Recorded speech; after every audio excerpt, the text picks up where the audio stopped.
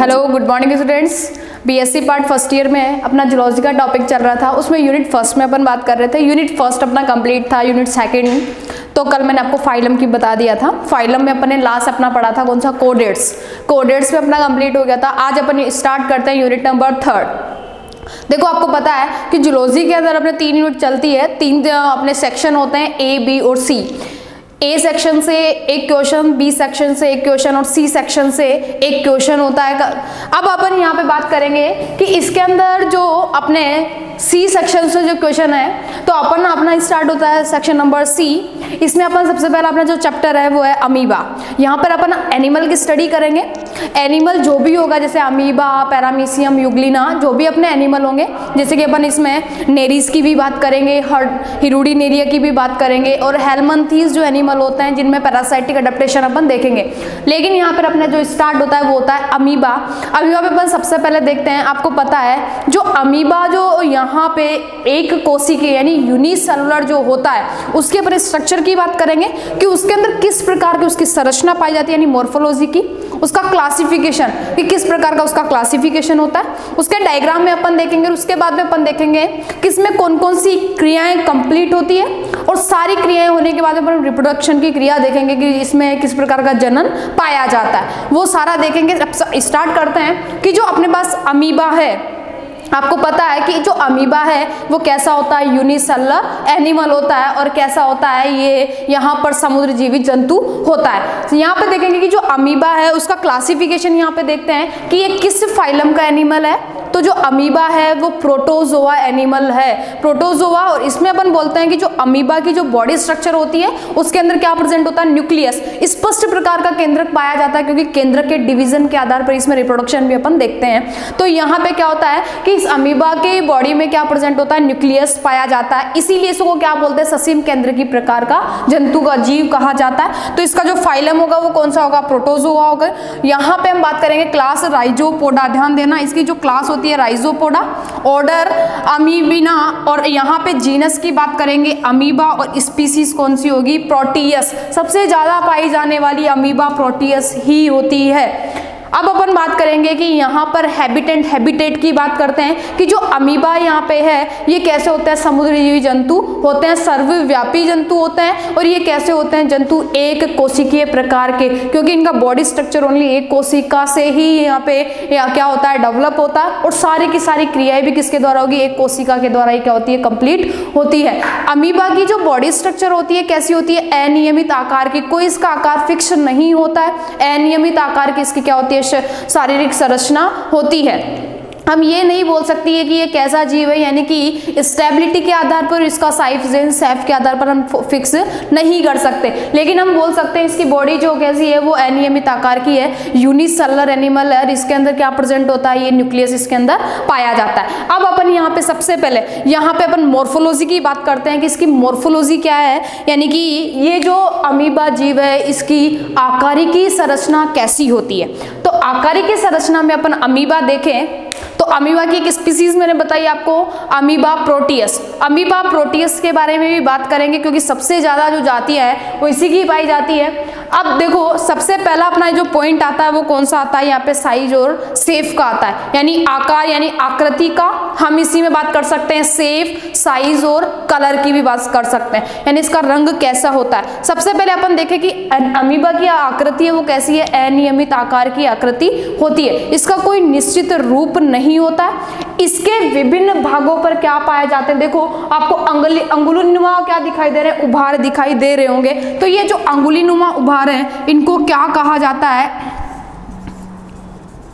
Pseudo podia कहा जाता है।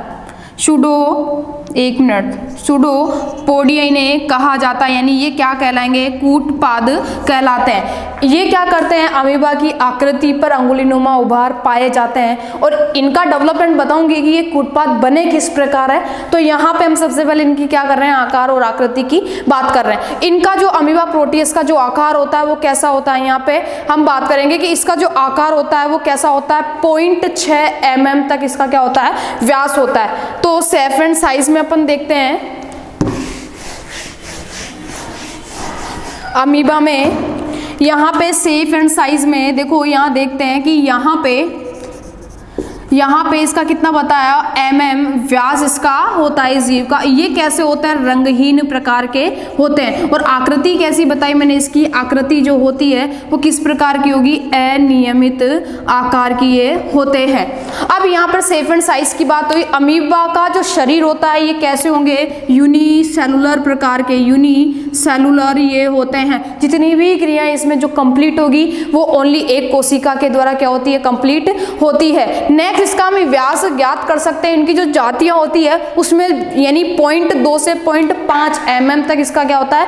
व्यास होता है। ये कलरलेस जीव होते हैं और इनका आकार क्या बोल सकते हैं? या तो ये ग्रे होंगे, ये ग्रे होंगे, या फिर हम बोल सकते हैं ये कैसे होते हैं? जेली नुमा इनकी स्ट्रक्चर होती है किनकी? अमीबा की। तो अमीबा या तो ग्रे कलर में बोलेंगे या इनका कैसा होगा? जेली रूपी शरीर होगा। अब इनमें अपन सामान्य संरचना की अपन बात करके चले कि इनकी जो सामान्य संरचना होती है, वो किस प्रकार की होगी? तो कोशिका के अंदर क्या पाया जाएगा? यानी कि जो इनकी कोशिका होती है, इसमें आपको अंदर की तरफ़ देखो, क्या दिखाई दे रहा है? बिखरा रूप से एक लिक्विड पाया जाता है, यानी इसमें ऑलमोस्ट क्या प्रेजेंट होता है? तरल इसके अंदर पाया जाता है। इसमें अपन विभेदन करें इसके भाग तो हम इसके शारीरिक संरचना के अंदर तीन भाग देखते हैं। सबसे पहला अपन यहाँ पे देखेंगे कि प्लाज्मा लेमा। प्लाज्मा लेमा की बात करेंगे। दूसरा अपन यहाँ पे बात करें साइटो प्लाज्म की बात करें, कोशिका, द्रव की बात करेंगे तो पहला अपने पास हो गया प्लाज्मा लेमा की, दूसरा अपने पास कौन सा हो गया यहाँ पे साइटोप्लाज्म यानी कोशिका, द्रव हो गया, तीसरा कौन सा हो गया?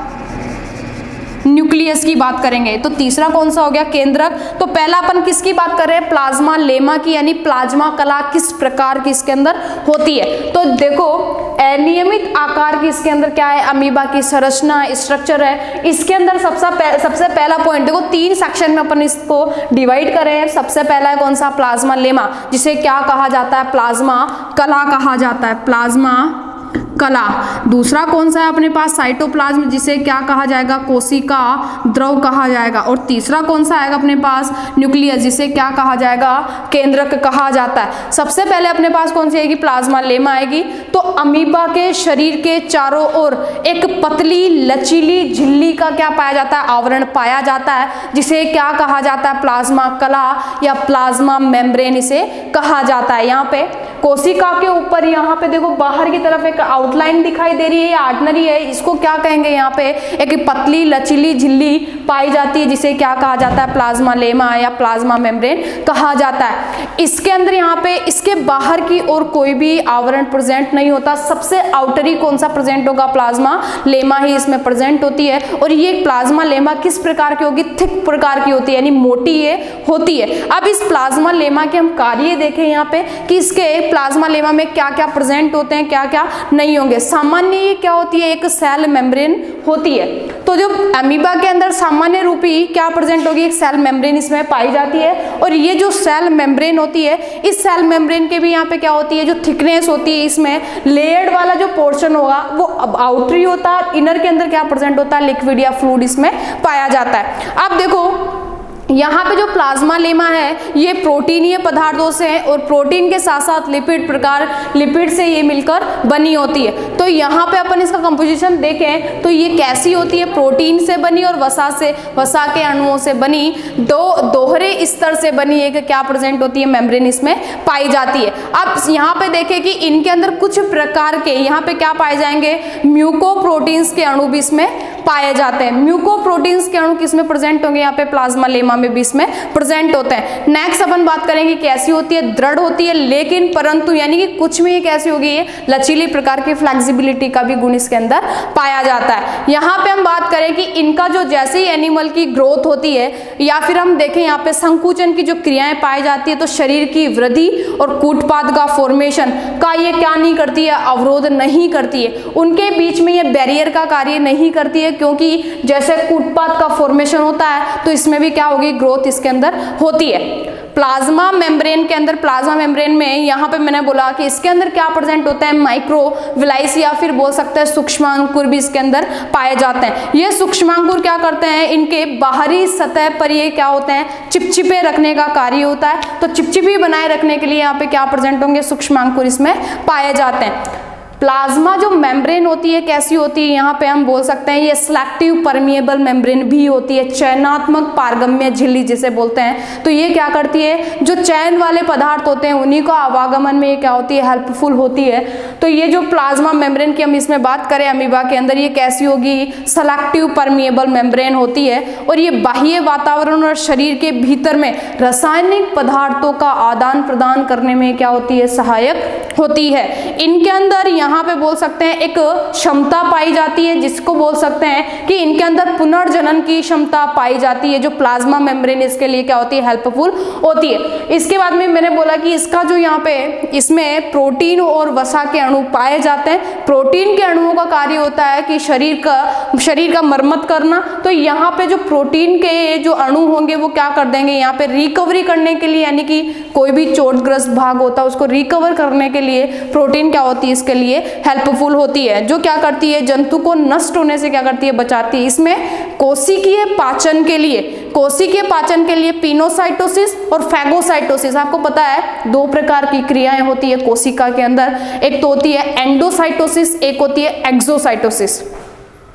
एंडोसाइटोसिस के अंदर आपने, आपको बताया कि या तो ठोस पदार्थों का अंतःग्रहण या फिर सॉलिड पदार्थों का अंतःग्रहण होता है, जिसके दौरान यहाँ पे क्या होगा कि जो एंडोसाइटोसिस होता है, जिसमें पिनोसाइटोसिस एक होता है कौन सा? यहाँ पे फैगोसाइटोसिस पिनो के अंदर लिक्विड पदार्थों का अंतर्ग्रहण होगा और यहाँ पे फैगोसाइटोसिस में क्या होता है? सॉलिड पदार्थों का क्या होता है? अंतर्ग्रहण होता है। कोशिका क्या कर लेती है? उनको अंदर की तरफ़ अंतर्ग्रहित कर लेती है। तो यहाँ पे कोशिकीय पाचन के लिए पिनोसाइटोसिस और फैगोसाइटोसिस की क्रियाएँ इनके अंदर पाई जाती है, क्षमता पाई जाती है। तो ये सारा किसके लिए बताया अपन ने प्लाज्मा मेम्ब्रेन के बारे में। सेकंड अपना कौन सा आता है यहाँ पे? कोशिका द्रव, यानी साइटोप्लाज्म तो जो प्लाज्मा लेमा के अंदर की तरफ़, या फिर बोल सकते हैं साइटोप्लाज्म के बाहर जो प्लाज्मा मेम्ब्रेन जो होती है, यानी प्लाज्मा मेम्ब्रेन के द्वारा जो घेरा हुआ भाग होता है, जिस तरल को घेरे हुए रहती है, उसे क्या कहा जाता है? साइटोप्लाज्म या कोशिका द्रव कहा जाता है। ये एक आधारभूत क्या होता है? मैट्रिक्स कहलाता है। कौन सा अंदर की तरफ़ आपको एक फ्लूड भरा है इसको क्या कहा जाता है? मैट्रिक्स कहा जाता है, जिसे साइटोसोल या फिर बोल सकते हैं हाइलोप्लाज्म भी से क्या कहा जाता है। इसके अंदर क्या होते हैं? अनेक प्रकार की संगठित क्या प्रेजेंट होती है? संरचना इसमें पाई जाती है। देखो, आपको साइटोप्लाज्म में बड़ी बड़ी वैक्यूल्स आपको दिखाई दे रही है, कोई छोटी भी है, कोई बड़ी भी है तो बड़ी वैक्यूल को क्या कहा जाता है? कॉन्ट्रेक्टाइल वैक्यूल ये संकुचनशील रिक्तिकाएँ इसमें पाई जाती है। संकुचनशील रिक्तिकाओं के साथ साथ इसमें क्या प्रेजेंट है? यहाँ पे न्यूक्लियस भी इसमें प्रेजेंट है, यहाँ पे फ़ूड वैक्यूल भी इसमें प्रेजेंट है और वाटर वैक्यूल भी इसमें क्या होती है? पाई जाती है। किसमें बात? यहाँ पे क्या कर रहे हैं कि जो प्लाज्मा मेम्ब्रेन उसके अंदर की तरफ़ क्या प्रेजेंट है? मैट्रिक्स उस मैट्रिक्स में ये संरचनाएँ पाई जाती है। तो यहाँ पे बाहरी जो आपको ये बाहरी जो परत दिखाई दे रही है, इसे तो क्या बोला जाता है? एक्टोप्लाज्म देखो प्लाज्मा मेम्ब्रेन में बाहर की तरफ़ यहाँ ब्लैक डोटेड से मैं मैंने बनाया है, वो तो कहलाता है एक्टोप्लाज्म जो रेड डोटेड से जो मैंने बताया, वो कौन सा कहलाएगा? एंडोप्लाज्म कहलाएगा। तो बाहर की ओर तो एक्टोप्लाज्म इन, इनर की ओर कौन सा होगा? एंडोप्लाज्म होगा। अब यहाँ पे देखते हैं कि एक्टोप्लाज्म के अंदर भी क्या प्रेजेंट होता है? बाहरी स्तर पाया जाता है। ये एक तरल पदार्थ होता है जो कैसा होता है? रंगहीन होगा। रंगीन के साथ साथ कैसा होगा? पारदर्शी होगा परमिएबल होगा और कणिका रहित होता है। देखो अंदर की तरफ़ तो कण पाए जा रहे हैं लेकिन इस मेम्ब्रेन में आपको क्या दिखाई नहीं दे रहे? यहाँ पे पार्टिकल्स दिखाई नहीं दे रहे। तो ये कैसे होते हैं? कण विहीन भी बोल सकते हैं। कण रहित और ये कैसा होता है? पारदर्शी प्रकार का चमकीला स्तर होता है। ये ब्राइटनिंग प्रकार की लेयरिंग होती है जिसे क्या कहा जाता है? एक्टोप्लाज्म कहा जाता है। अब यहाँ पे इस एक्टोप्लाज्म को ही हम क्या कह सकते हैं यहाँ पे? एक, एक्टोप्लाज्म जो होता है इस एक्टोप्लाज्म को ही हम क्या कह सकते हैं? काचाब स्तर। काचाब स्तर। ये काचाब स्तर कैसा होता है? पारदर्शी प्रकार का रंगहीन होता है। साथ ही साथ मैंने इसमें आपको क्या बताया, पारदर्शी के साथ साथ ये कैसा होगा, रंगहीन होगा और कैसा होगा, कण विहीन होता है। इसमें कण नहीं पाए जाते हैं। इसीलिए इसको क्या कहा जाता है? काचा बिस्तर भी से कहा जाता है। अब बात करेंगे कि जो काचा बिस्तर होता है, इस काचा बिस्तर के साथ साथ यहाँ पे भीतर की ओर क्या प्रेजेंट है? यहाँ पे इसके अंदर दो प्रकार का, एक तो प्लाज्मा जेल और एक होता है प्लाज्मा शोल। देखो, अमीबा की एक साइड होती है एंटीरियर पोस्टीरियर अगर वाले भाग और पश्च वाले भाग में। यहाँ पर पश्च वाले भाग में एक गाढ़ा पदार्थ पाया जाता है, जिसे क्या बोला जाता है? प्लाज्मा शोल कहा जाता है। ये plasma sol solution sorry plasma gel गाढ़ा पदार्थ होता है। ये जो जेल इसके अंदर पाया जाता है, ये जेल कैसा होता है? गाढ़ा। यहाँ पे सोलेशन की क्रिया पाई जाती है। सोलेशन के द्वारा क्या होता है यहाँ पे? ये जो जेल होता है, वो सोलेशन की क्रिया के द्वारा किसमें कन्वर्ट हो जाएगा?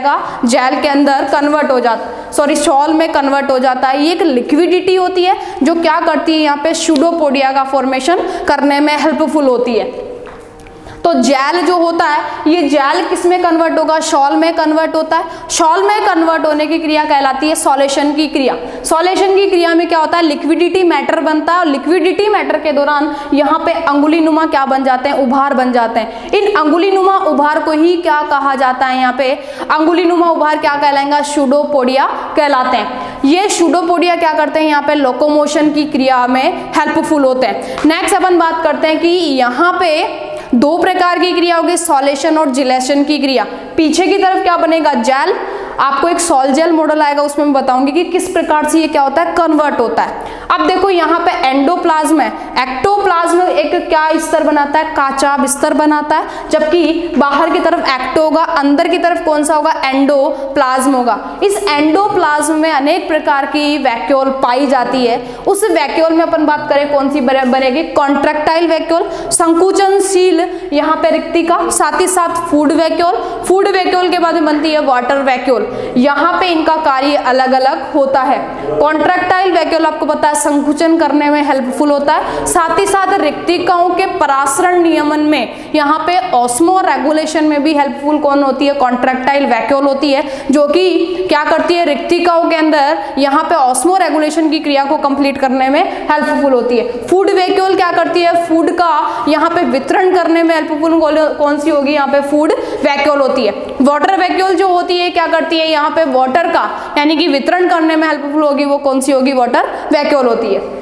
तो एंडोप्लाज्म में विभिन्न प्रकार की वैक्यूल पाई जाती है। कॉन्ट्रेक्टाइल वैक्यूल यहाँ पे सबसे पहले कॉन्ट्रेक्टाइल वैक्यूल होगी, ये कैसी होगी? एक छोटे बुलबुले नुमा, यहाँ पे पानी के जो बुलबुले होते हैं, उस प्रकार की गोलाकार संरचना होती है, जो अमीबा के सेंटर पॉइंट के अंदर पाई जाती है, जिसे क्या बोल सकते हैं? एंडोप्लाज्म कहा जाता है। इसके अंदर ही बात कर सकते हैं। इनमें एक विशिष्ट प्रकार की संरचना, बुलबुले के समान, उसे क्या कहा जाएगा? कॉन्ट्रेक्टाइल, वैक्यूल कहा जाएगा। इसके चारों ओर क्या प्रेजेंट होती है? प्लाज्मा कला पाई जाती है और प्लाज प्लाज्मा कला की भी कौन सी मेम्ब्रेन एक पतली लचीली मेम्ब्रेन पाई जाती है या झिल्ली का आवरण इसके अंदर पाया जाता है।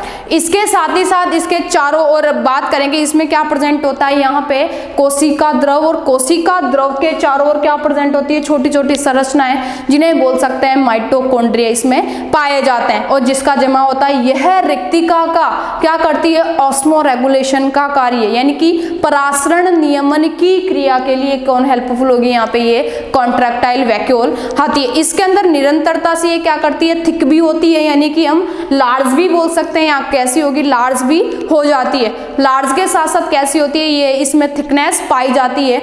यह क्या करेगी? साथ इसमें क्रियाओं के अंदर, कोशिका द्रव में निरंतर जो क्रियाएँ चलती है, उसमें जल की मात्रा का प्रवेश करवाना, साथ ही साथ उनमें कॉन्ट्रक्शन करना और यहाँ पे रिक्तिकाओं के द्वारा उन्हें बाहर की तरफ़ रिमूव करने का कार्य भी किसका होता है? कॉन्ट्रेक्टाइल वैक्यूल का होता है। सेकंड अपन कौन सी बात करेंगे? फ़ूड वैक्यूल की। तो वो फ़ूड वैक्यूल क्या करती है यहाँ पे? फ़ूड वैक्यूल एक अनियमित आकार की छोटी संरचनाएँ होती है। ये असंकुचनशील होती है। संकुचनशील तो होगी ओनली कॉन्ट्रेक्टाइल वैक्यूल जबकि असंकुचनशील कौन सी होगी? फ़ूड वैक्यूल होती है। यह दानियाँ कैसी होती है? इनका जो आकार होता है, वो अनियमित आकार होता है। और इनमें कुछ होती है जो फिक्स आकार लेती है तो इनको क्या बोल सकते हैं? नियमित आकार की भी होती है। यह क्या करेगी? आकृति और आकार में यानी भोजन के कणों के अनुसार, भोजन यानी कि धान, यानी खाद्य धान्यों के द्वारा भोजन का वितरण करने का कार्य कौन करती है? फ़ूड वैक्यूल करती है। इनकी संख्या कैसे नहीं होती है? फिक्स नहीं होती है। नंबर इनका यानी कि यानी कोशिकाओं का जो नंबर होता है वो क्या नहीं होता है इनका फिक्स नहीं होता है। और ये अधिकांश ये धानियाँ क्या करती हैं, यहाँ पे जो फ़ूड मटेरियल के दौरान यहाँ पे जो अपचित भोजन होता है, उसको क्या करती है, बाहर रिमूव करने का कार्य भी कौन करती है फ़ूड वैक्यूल करती है। लास्ट थर्ड नंबर आती है अपने पास कौन सी? वाटर वैक्यूल ये जो वाटर वैक्यूल आपको दिखाई दे रही है फ़ूड वैक्यूल के साथ साथ इनकी भी संख्या फिक्स नहीं होती है। और यहाँ पे फ़ूड वैक्यूल के साथ साथ जो वाटर वैक्यूल होती है, ये छोटी छोटी पारदर्शी होगी और कैसी होगी? रंगहीन होती है और ये जल से भरी संकुचनशील धानियाँ होती है। ये तो असंकुचनशील होती है, लेकिन वाटर वैक्यूल कैसी होती है? संकुचनशील होती है। लेकिन यहाँ पे हम बाद यानी कि इसका जो फ़ंक्शन है वो फिक्स यानी कि ज्ञात नहीं है, लेकिन बोला जाता है ये वाटर का यहाँ पे क्या करती है? रेगुलेशन करने का कार्य भी कौन करती है? वाटर वैक्यूल करती है। तो आज के लिए यहाँ पे अपन ने मॉर्फोलॉजी में कितना देखा कि इनमें वाटर वैक्यूल अब इसमें देखेंगे कि इसके एंडोप्लाज्म किस किस प्रकार के यहाँ पे ऑर्गन्स पाए जा रहे हैं। यानी एंडोप्लाज्मिक रेटिकुलम गोल्जी बॉडी हो गया लाइसोसोम हो गया न्यूक्लियस हो गया। और इसके बाद में यानी कि एक मॉडल बताऊँगी जिसके दौरान क्या होता है? इसमें लोकोमोशन की क्रिया पाई पाई जाती है। आपको मैंने अंगुली नुमा जो उभार बताए, उनको क्या कहा जाता है? शूडोपोडिया कहा जाता है। लास्ट में अपना इसमें जो आएगा, वो आएगा रिप्रोडक्शन तो कल ही अपना नेक्स्ट एक क्लास है, उसके दौरान ये अपना चैप्टर कंप्लीट हो जाएगा। तो आज के लिए इतना ही। नेक्स्ट क्लास में अपन स्टार्ट करेंगे कि इसके बाद में जो भी इसकी क्रियाएँ होती है, आज के लिए इतना। Thank you